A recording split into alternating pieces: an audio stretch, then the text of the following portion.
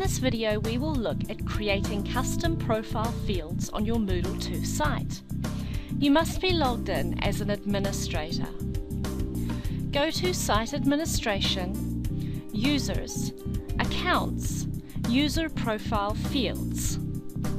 Here you can either start to create fields or create a profile category. While we look at a profile being edited in Moodle 2, we can see that the fields are split into categories, such as General, User Picture, Interests, and Optional. You can create your own categories.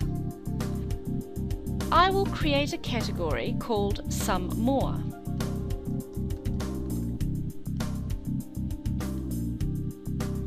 you can see that we now have two categories, Other Fields and Some More.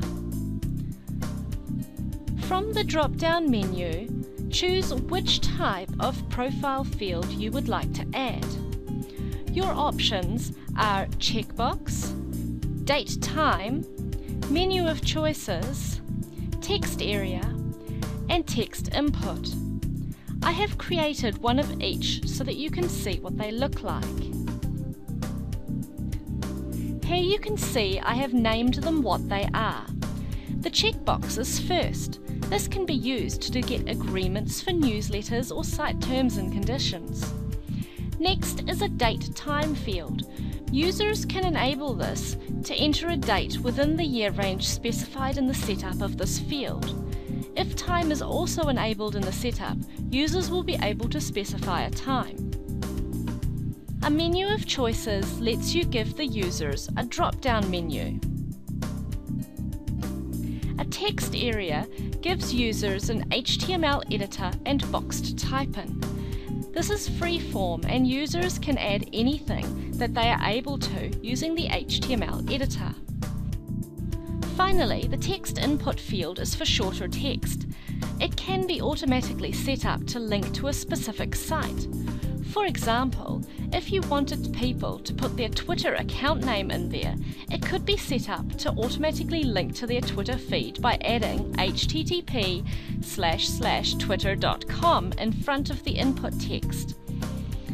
I will show you how to do this in a minute. These options let you, as the administrator, customize the information that you get from a user's profile. I will show you now how to add a text input field. Choose Text Input from the drop-down menu to create a new profile field. Give it a unique short name. Give it a name that will be displayed when the users fill it out. You can choose to write a description for the field, but this is not shown to the users. Choose whether the field is required, locked, whether the data should be unique.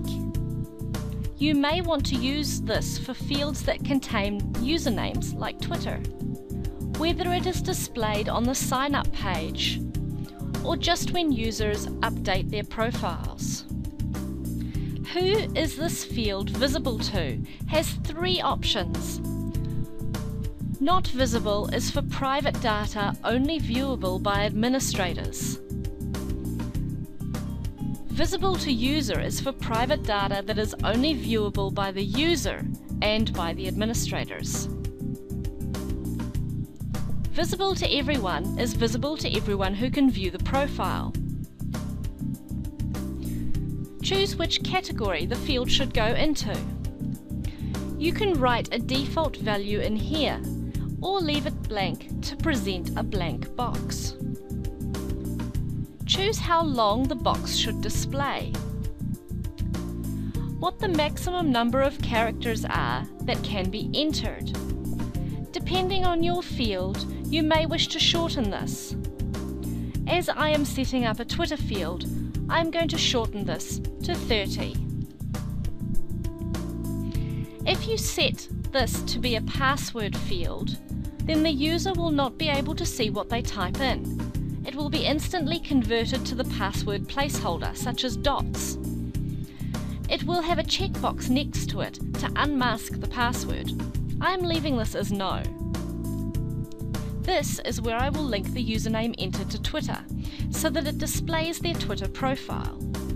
I will enter the Twitter URL followed by two dollar signs. The dollar signs will then be replaced by the value entered into the field when the link is created. Finally, I will choose how the link will be opened. I will choose New Window. Click Save Changes. Now, when a user enters their Twitter name into the field and updates their profile, it will link automatically to their Twitter profile page.